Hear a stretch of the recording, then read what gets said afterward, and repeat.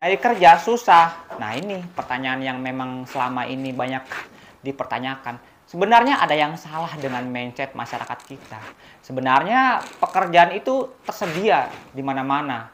Pekerjaan itu banyak sekali ya, bahkan di pinggir-pinggir jalan itu banyak sekali pekerjaan-pekerjaan, lowongan pekerjaan yang ditempel. Nah, ini yang mau saya luruskan. Nyari kerja kok susah ya? Sebenarnya nggak susah kalau teman-teman mau mencari ya. Bahkan saya itu sehari itu bisa sampai 5 sampai 10 lowongan pekerjaan. Cuman begini sistemnya. Di era pandemi sekarang itu banyak sekali lowongan-lowongan pekerjaan. Itu yang bisa memberikan gaji yang sangat kecil sekali. Ya paling sekitar satu juta delapan ratus ribu ya sampai eh, dua juta lima ratus ribu ya. Kalau teman-teman nggak percaya coba teman-teman buka OLX ya.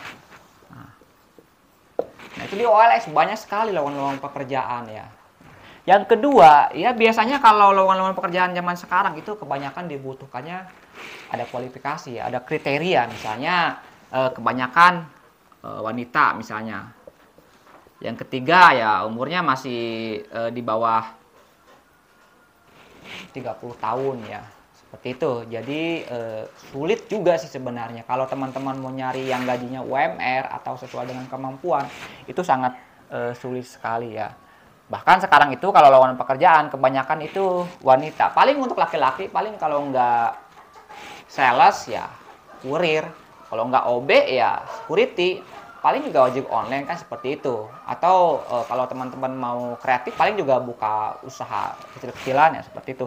Nah yang ketiga itu biasanya lowongan-lowongan pekerjaan yang terdaftar itu ke, e, membutuhkan keahlian atau skill ya. Kalau teman-teman buka job street ataupun di tempat-tempat pekerjaan yang lainnya itu bisa biasanya e, kalau enggak komputer atau kalau enggak ya bahasa Inggris ya.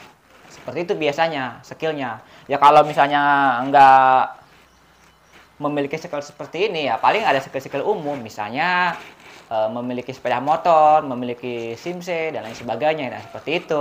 Jadi e, mindset teman-teman itu harus rubah ya. Sebenarnya bukan tidak ada pekerjaan.